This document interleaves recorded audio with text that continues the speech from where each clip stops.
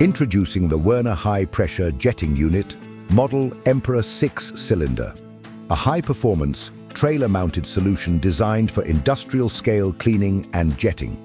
At the heart of the unit is a Werner Triplex piston plunger pump, German-engineered for durability and efficiency.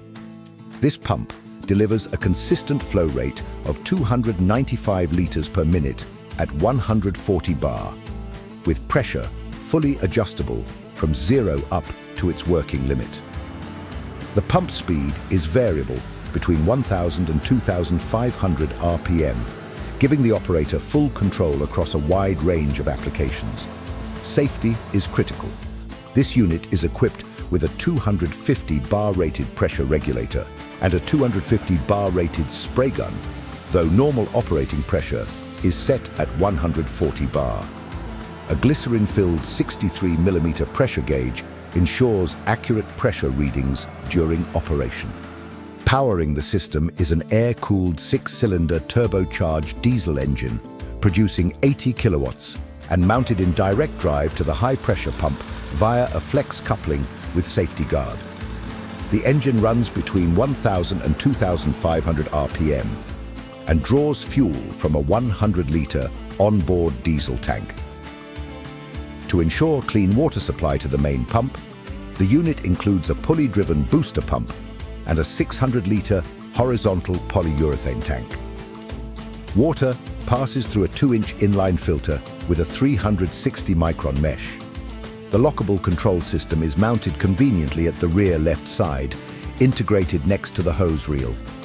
It features electric key start, indicators for water pressure and battery charge, a rev counter and a safety cutout system for high temperature or low oil pressure. An emergency stop button and a speed control cable complete the setup for operator safety and control. Mounted on a high-speed trailer, the unit is road legal with eNaTIS registration readiness, overrun and park brakes, a 50mm ball-type tow hitch, retractable jockey wheel and heavy-duty stabilizer legs. A double axle is also available as an optional extra.